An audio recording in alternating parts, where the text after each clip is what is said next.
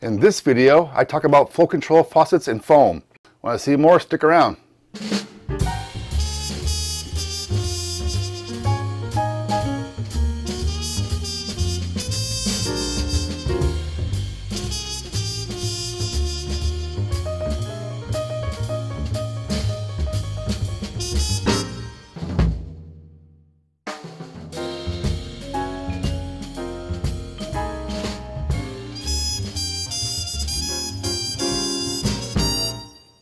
Hello everyone and welcome back. Over the past couple few years I suppose I've gotten occasional comments uh, on some of my videos when I feature my draft system or draft beer or anything to do with foam of any kind. I actually did a, a dedicated video on how to balance your draft line system to get rid of the foam in your in your draft system and that basically involves mainly cutting your beer line or extending your beer line to a certain length to balance the pressure in your keg and the length of that line would vary depending upon the, the serving pressure in the keg that you want. And in that video and others, I get occasional comments saying, why bother with any of this? Just get a flow control faucet and call it a day. Which I didn't need because I had a balanced system. Well, the past year or two, I've been doing more of these kit ciders. You may see me doing for the apple, cherry, and now a pear cider right here in my hand. And each time I do this, uh, for the ciders, you really have to crank up the PSI in the keg to get the fizz that you want. If you serve cider at beer pressures, uh, it, it tastes pretty flat and thin. And what you got to do then is crank it up to almost double basically of what you would serve it for beer. So for me, I like to serve my beers between uh, 10 and 12 PSI. Uh, this is probably about 22 PSI in this keg here now.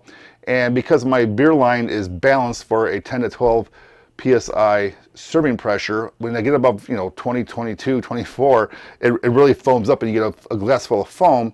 So I finally decided to go ahead and go out and get a flow control faucet. Now what I have here in front of me here is the Intertap brand. I did a previous video on the other model that I've shown already on my channel with the spring that to uh, keep the tap handle um, from from uh, opening and leaking like my previous faucet had done and that solved a great problem there. But even in that video, I got comments from people wanting to say, well, why don't you just get the flow control option? Well, because I've been doing ciders and stuff now, and I've done root beers as well, and that has the same problem. You have to really crank up the pressure in a, in a root beer as well.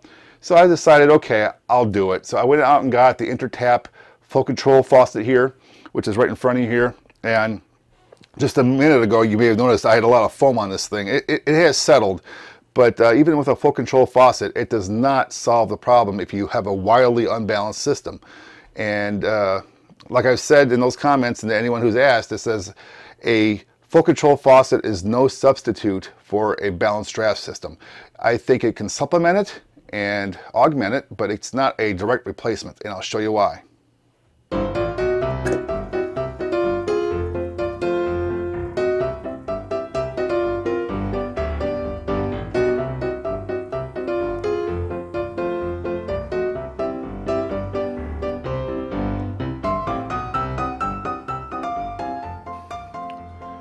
So the foam subsided a bit and I am going to give it another try.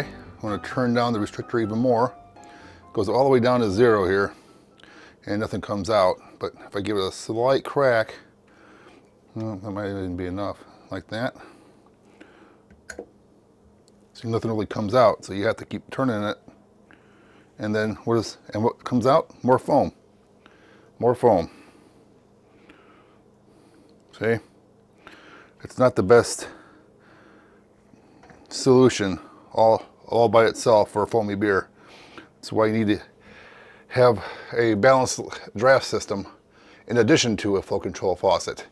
A flow control faucet all by itself will not, alone will not keep foam out of your beer. You still need a somewhat balanced draft system, which is what was talked about in an older video of mine where I talk about how to balance your, your draft system. And uh, a big culprit of that is having too short of a beer line in your kegerator. So um, for example, I have 10 feet coiled up inside this kegerator right here and it's balanced for about 10 to 12 PSI beer. But what I have here is a pair of cider, highly carbonated, see it's highly carbonated above 20, 22 PSI, I, th I think it is in order for it to have a fizz in it. And uh, that's uh, way unbalanced for my 10 foot line here. So I, I bought the flow control faucet here to help with that in case I, I want to do ciders and not have to get a 20 foot length of line to, to balance it. And uh, as you can see here, even with a balanced line for a 12 PSI beer, uh, having it almost double for a cider uh, re-unbalances it again, where to the point where even the flow control faucet can't balance it without creating foam.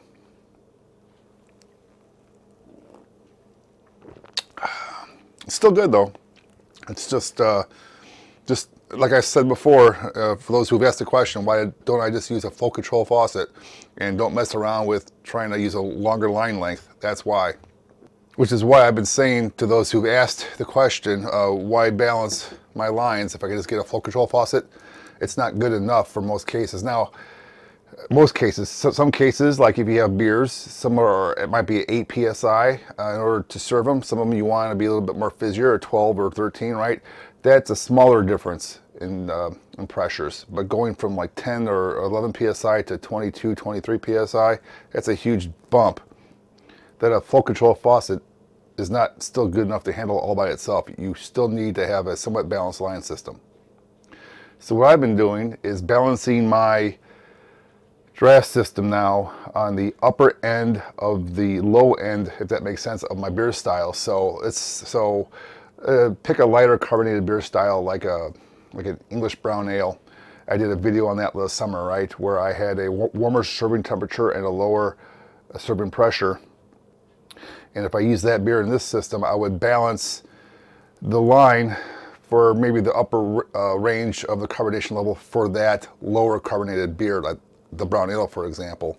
So then when I put a higher carbonated beer on there, say something that might be on uh, 10, 11, 12 PSI, then I can then use the flow control faucet to fine tune the flow rate. So a combination of both a balanced or a somewhat balanced draft system and a flow control faucet are the best combination. You, you, you really can't get by with just one or the other if you're changing beer styles a lot. Or, or adding cider, or making your own root beer, which is got about the same problem as cider does. It wants to be about 25 psi as well. So that's something to keep in mind. In the meantime, I'm to carry on, keep drinking. See y'all later. Thanks for watching. Be sure to check out other videos on my YouTube channel and don't forget to subscribe.